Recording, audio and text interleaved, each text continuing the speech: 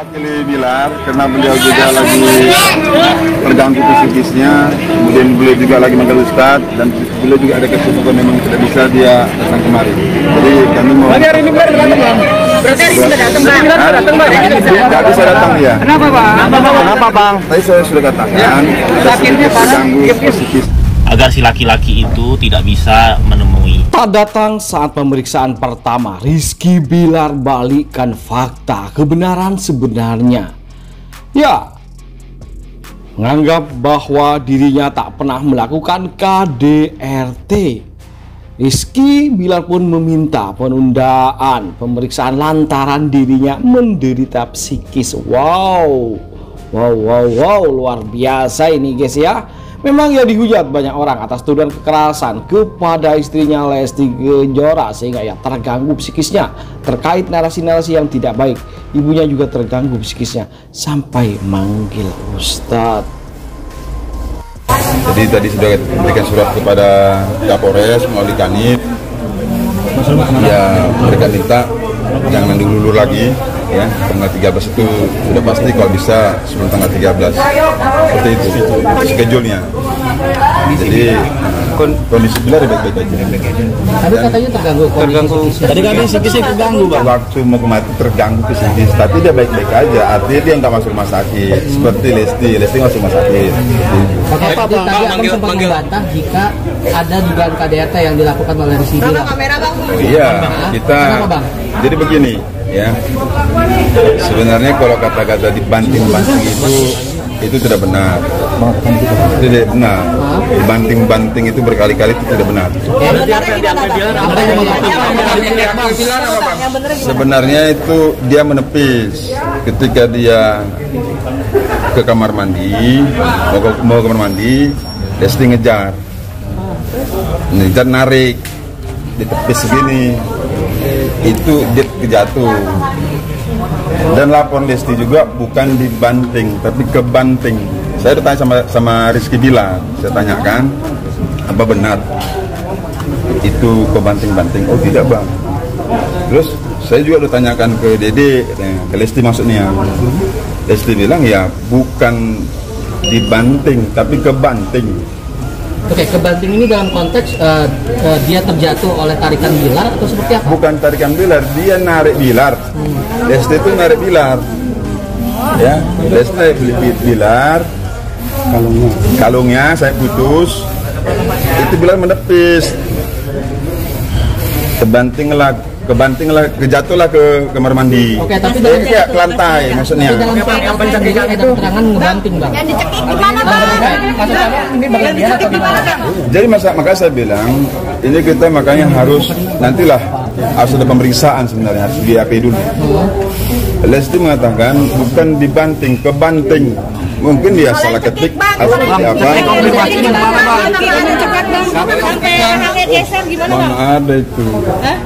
Sampai tumas sendiri bang. Saya tidak saya, saya tidak bisa mendahului ya. Tapi kami biar nanti ada pemeriksaan ya. Yang jelas ya? waktu Bilar membesuk si Lesti ke rumah sakit itu mereka macam-macam Bah- bahkan Bilar menyuapin. Ya menyuapin istrinya sebagaimana mereka suami istri. Dan mereka nggak ada masalah sebenarnya. Hanya dibesar-besarkan saja. Bang kalau nggak ada masalah kenapa? Harus lapor polisi bang? Kenapa harus lapor polisi? Yang dugaan Jadi sebenarnya. Ya, begini, begini ya. Waktu sudah selesai mereka sudah damai sudah selesai itu kan Lesti pergi. Ini kami duga ada pihak ketiga yang meng- mengempori agar dilaporkan aja supaya jerat nih anak seperti itu kalau dugaan kami kenapa saya bilang Siapa? Saya siapa? Nggak tahu. Orang tua. Orang tua. Berarti ada Sejauh ini yang orang keluarga yang nggak mungkin juga lah berarti ada upaya damai, Bang. punggung. Lesti tulang punggung. Lesti bilang tulang punggung. Nggak mungkin keluarga. Masih mereka mau damai-damai aja.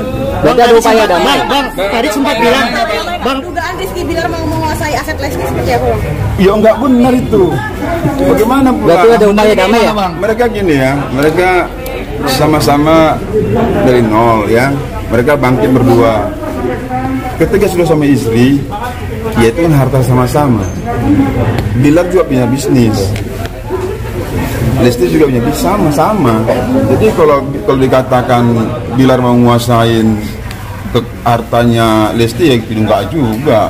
Enggak juga enggak seperti itu. Bang, uh, respon Bang, penyidik Bang, kapan Bang, dijadwalkan Bang, lagi dan gimana? Respon penyidik akan Respon penyidik tegas, Hah? ya tegas.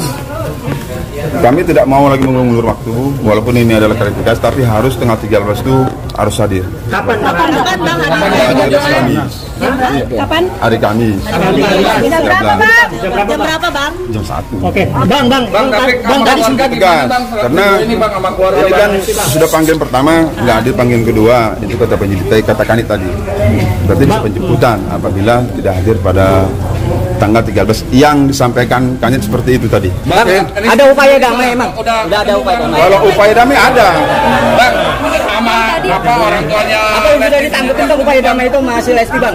Bang, tadi pemanggilan Ustaz untuk bisa berarti, Bang? Upaya damainya sudah ditangkap dengan Lesti apa gimana bang? teman-teman media ya.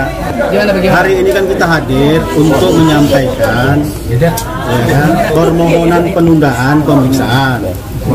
Ya, dalam surat itu kita sampaikan meminta sekarang udah sekecuali diamankan ya sama Cuma kita seminggu tadi produser SCTV sudah dan Indosiar komunikasi di tempat yang aman tidak bisa diganggu kemungkinan besar. Buat tadi dapat kalau bisa tidak boleh mundur lagi. agar si laki-laki rahasia. itu tidak bisa menemui Kalaupun ada pertanyaan-pertanyaan berkaitan masalah teknis itu kan ranah penyidik. Kami nggak bisa mendahului. Ya, jadi kalau ada nanti ada pertanyaan wartawan yang belum bisa kami jawab, kami mohon maaf. Karena apa? Karena pertanyaan-pertanyaan dari teman-teman wartawan ini sudah menurut saya adalah pertanyaan nanti kepada penyidik. Ya, jadi mungkin kalau nanti sudah di pemeriksaan, lalu keterangan BAP itu bisa kami sampaikan. Oke, Bang. Ya, tentu dulu. Terus yang kedua, pemberitaan-pemberitaan itu kita harus tahu narasumbernya dari mana. Narasumber harus ada, harus ada dua dong, baik dari Rizky maupun Lesti. Sementara ini kita lihat Rizky tidak pernah memberikan statement apa pun. Baik juga si Lesti, informasi ini dari mana? Pengacara juga Rizky bilang kami pada hari ini berstatement. Nah makanya kita harus hati-hati juga. Kami juga akan mengontrol berita-berita yang kadang-kadang memberikan kesimpulan dengan analisa saya melihat sudah menyerang kehormatan pribadi dan lain kami. Kami menghormati teman-teman media di sini. Kami ucapkan terima kasih. Walaupun ada kekurangan dalam penyampaian kami, kami minta maaf sebagai kuasa si Rizky Bilar ya. Itu. Keluarga juga sama. Kenapa keluarga tidak mau menyampaikan? Tapi salah. Karena teman-teman persediaan banyak, bukan satu kan. Nah oleh karena itu maka saya bilang nanti lebih banyak kita bicara ketika sudah dilakukan pemeriksaan oleh penyidik. Nah kalau hari ini pertanyaan-pertanyaan yang disampaikan wartawan lalu saya jawab, nanti apa pertanyaan-pertanyaan penyidik kan begitu. Takutnya nanti keterangan kami berbeda apa yang disampaikan oleh keterangan kami dalam BAP. Gitu ya. Oke. Bang, keterangan dari berdasarkan keterangan dari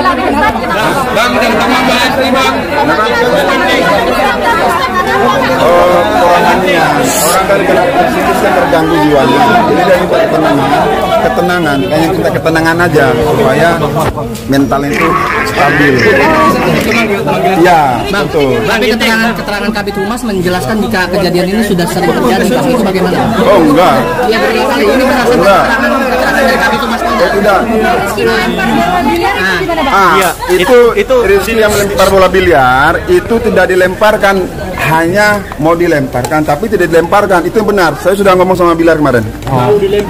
Mau dilemparkan aja seperti menggertak gitu. Berarti benar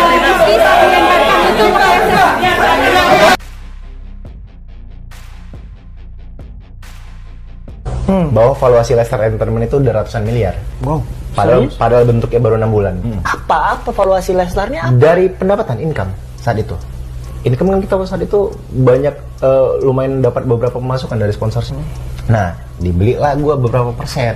Sama. Beberapa persen aja ya.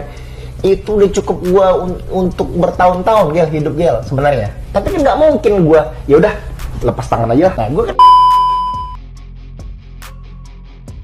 Bagaimana menurut kalian guys? Jangan lupa kasih komentar, like, dan masukan agar tambah seru keuangan mereka berdua yang so selalu akan kita sajikan kabar terbaru terupdate tentang selebriti tanah air dan mancanegara yang bakal bikin kita semua happy senang dan update akan kabar berita terbaru tentang mereka tentunya.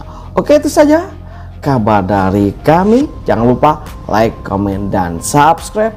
Terima kasih telah menonton. Yuk, bye-bye.